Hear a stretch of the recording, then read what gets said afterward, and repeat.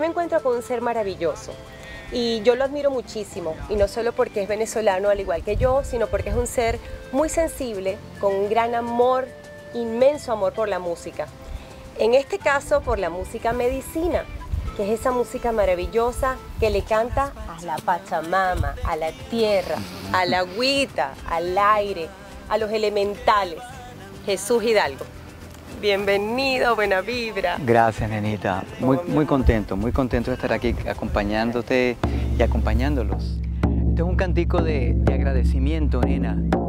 Es una llave mágica para abrir cualquier puerta. Dice así. Agradezco,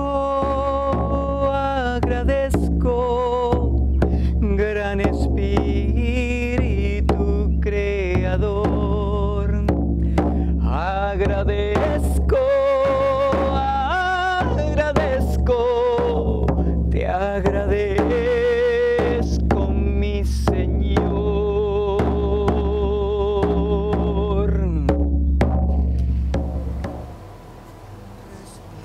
¿Qué es música medicina? Nena, música medicina es música hecha con intención sanadora. ¿Sanar qué? Nuestra relación con la naturaleza, eh, la sanación de nuestro ser interior y la sanación con todas nuestras relaciones, padres, hijos, nuestras parejas, nuestra comunidad, nuestro país. Tan importante ahora que estamos así como alejados, ¿verdad? Volver a la naturaleza yo creo que es el llamado, volver a conectarte, ¿no? Esa energía. Ciertamente es, es tomar de la madre naturaleza la, la esencia ¿no? de, de- de sus elementales, del agua, de- del aire, del fuego, de la tierra, y, y- y de alguna forma conectarnos con esa memoria ancestral, Ajá. que era lo que, mm, lo- como sanaban nuestros abuelos. Yo recuerdo mi, mi abuela en mi, en mi pueblito natal, allá en el Tigre, era una mujer que sanaba con las hierbitas que sembraba en- en su jardín. Claro. Entonces imagínate, hoy que yo me tenga que tomar eh, cualquier cantidad de pastillas o, o someterme a una cantidad de cosas cuando existen eh, eh, eh, elementales que están allí a tu servicio. Exacto. Es conectar con, con ese uso de, de- de eso tan sagrado, ¿no? ¿Sientes que esa es parte de tu misión ahora en la vida? Ciertamente, yo creo que una, una de las cosas que, que los seres humanos siempre estamos buscando es el a qué vine, porque cuando empieza en un momento de la vida esas preguntas, ¿quién soy? ¿A qué vine? ¿Para qué vine? ¿Cómo? ¿Cuál es mi misión? Yo creo que encontrarla es de verdad un- un- un- una gran alegría. Y yo siento que a través de la música medicina, eh, a través de toda, toda esta, esta reconexión, eh, con cosas que yo había olvidado, Ajá. Que yo había olvidado, eh, estoy sí, recordando, me estoy reconectando y estoy ayudando pues a, a colaborando a que mis hermanos y hermanas reconecten también. Y que sanen a través de tu música. Evidentemente. Es maravillosa, es hermosa. Ya vamos a ver, mira, este es uno de los CDs que tengo yo. Tuve la oportunidad de. Tengo los dos, pero me encantan. Van rodando en mi carro siempre y yo cantando las músicas medicinas de Jesús Hidalgo. Has cantado con eh, muchos importantes. Plácido Domingo y de los nuestros, Simón Díaz, este, Oscar de León. ¿Con quién te gustaría?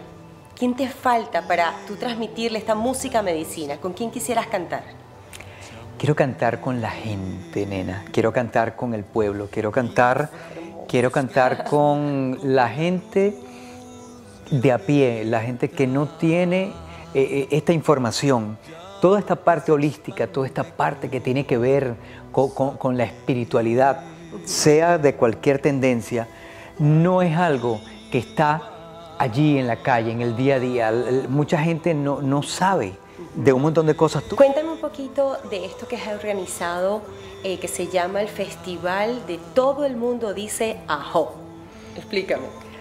Todo el mundo dice Ajo es una iniciativa para eh, agruparnos toda una cantidad de, de- de músicos de todas partes del mundo y que estén haciendo de alguna forma lo, lo mismo que estoy haciendo yo y que han hecho nuestros maestros, que es llevar música medicina.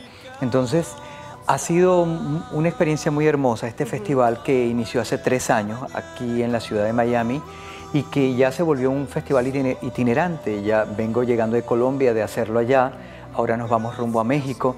Y ¿Qué países has juntado para esto?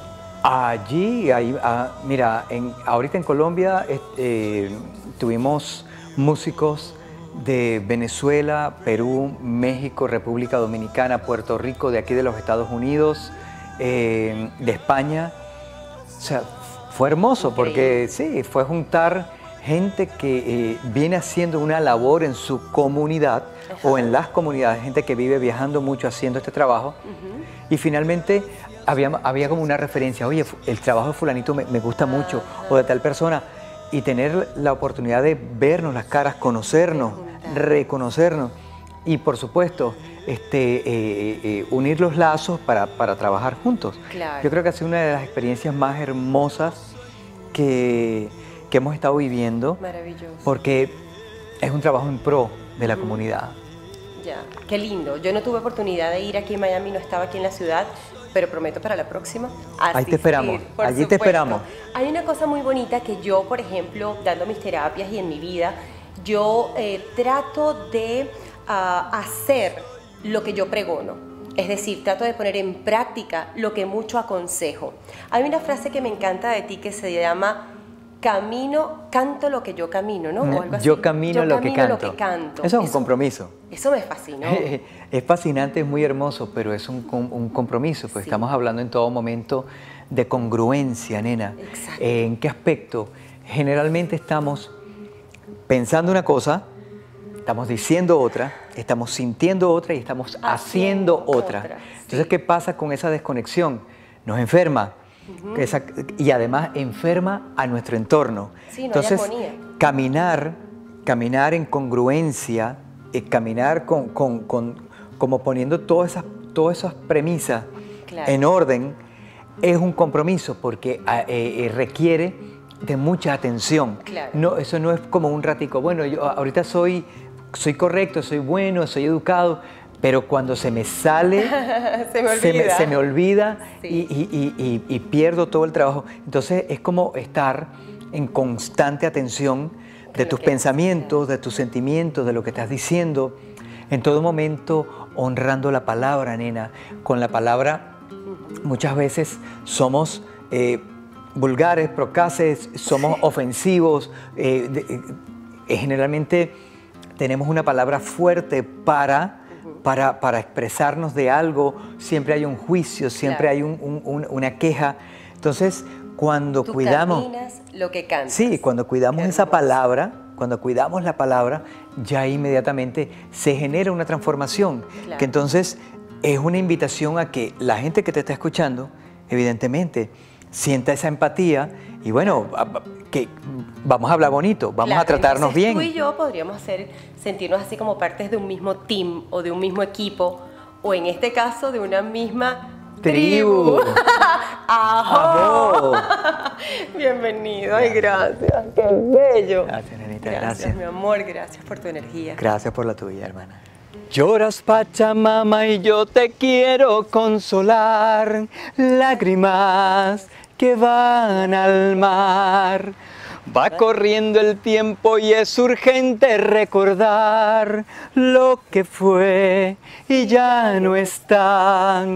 Hay que despertar un nuevo sentimiento porque Madre Tierra te lo está pidiendo. Sana Pachamama.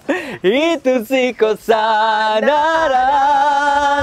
La medicina que necesitas tiene una lluvia de amor. Y tierra fresca que da la vida para que nazca una flor con aire puro que te acaricie al fuego de una canción y manos llenas que te cultiven pa' que te sienta mejor.